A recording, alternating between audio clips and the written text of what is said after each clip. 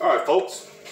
Gonna do another video on uh, some case 885 brakes here. This is a brake cylinder, and we're going to take it apart to get ready to rebuild this brake cylinder here. This is out of a uh, Case International 885. There are two of these. Uh, we've already taken the first one apart. I'm gonna do a video today on disassembling and then when we get our rebuild kit parts in, we'll do another video on putting it all back together and replacing the seals. This is the brake cylinder. First thing we're gonna do, we broke these loose. We're gonna take, take these out. This is the equalizer valve. Set that over there. It's got a copper washer on it, so you wanna keep track of that. This is the input line from the reservoir. Now inside this input line here, there's a screen that you don't want to lose. It is uh, keeps debris from falling down into your cylinder. Uh, if you look at the part numbers on Case's website, you'll see that it says that the screen is no longer required. Um,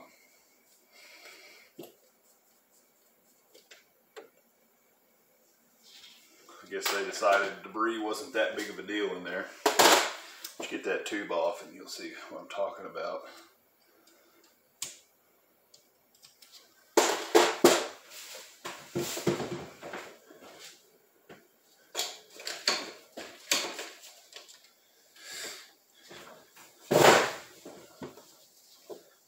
sits right inside this this line here.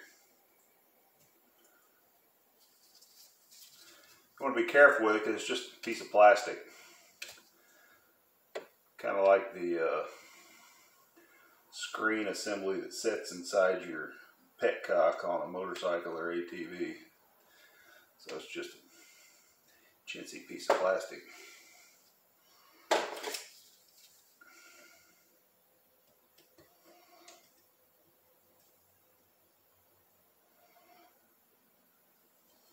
There you have it.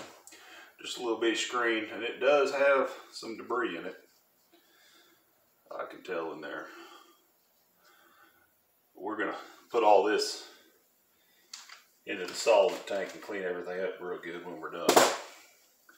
We broke this loose. I'm gonna take this bolt line off.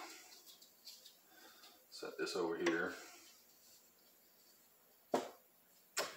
All right, the next thing we got is inside your equalization valve here is a little piece you want to take out. And underneath of it is a little ball bearing, so you don't want to lose that.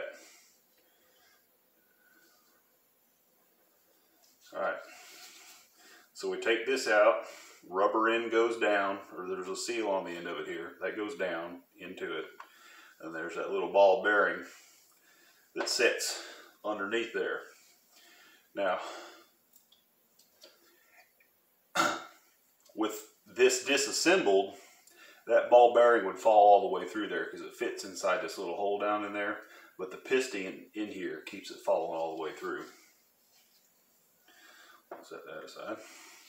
So we got that apart. Now we're going to get up underneath here into the boot. And the boots, new boots, come with the uh, seal kit. So you don't have to be too ginger with these. On the other one that I disassembled, this boot was completely destroyed. And it's, this one isn't destroyed, but there's a lot of nasty down in there. And there is a spring clip sitting in here that retains this keeper. Take some needle nose pliers pull that out. There's that spring clip right there. And this follows.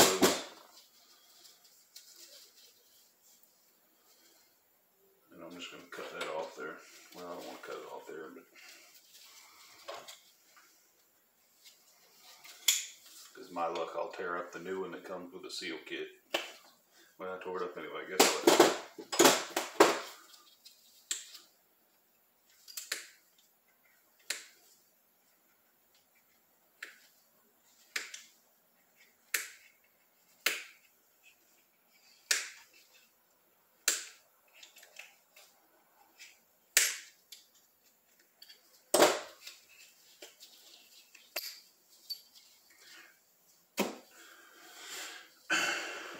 There's your rod. This bolts to the tractor's uh, brake pedals and this actuates it. Now the seal kit shows that it comes with uh, this washer here. I have no idea how the heck you would get that off of there. I mean, it's not in bad shape. It doesn't look like a wear part that needs to be replaced, but this rod is one piece, so it doesn't thread together. I have no idea how they expect you to, to replace that. So we're probably not. We're gonna set that aside and get to the rest of it. Now you look down in here, you see the piston, how that works. It pushes down against that spring. The clip's already out, so this is gonna come right out. So you just pull straight out. Now you've got an empty cylinder. And we get to the guts here. Here's one seal that will be replaced with the kit. The other seal, we got to get uh, the spring mechanism off here. And the way this works is there is a little clip that rests against the back of the piston. Get underneath there, pry it up so it'll come off. And that whole thing just comes out. Here's your piston. And then to get this apart, you push the rod in over to the uh, keyway and then it just comes right out. And the spring comes off the keeper here. Set that aside, set spring aside. We come to this, this little plastic piece comes right off the other end. There is a little uh, spring washer here, sits on there. Right on here is the other seal that you'll be replacing with the kit. So that's disassembly. Next we'll be putting it in the dump tank, cleaning everything up, making it nice and shiny again, well shiny as we can. And then uh, once, like I said, once we get the parts, we'll do the rebuild and reassembly. That's your brake cylinder. I was unable to find any videos about this particular uh, cylinder anywhere on the internet. So this was a kind of a trial and error. I found another video for a different, uh, Girling is the name of the uh, manufacturer. There was another video on a dune buggy kind of race car that had a reservoir built onto the top here or on the back rather. Uh, but it was it was girl like I said it was Girling also, and the guts seemed to be practically I, I, identical, except for the equalization valve. But uh, if you're working on a tractor, you got this cylinder. It also crosses over to some New Holland parts. But there you go. That's how you do it. Stand by for the next video. Thanks for watching.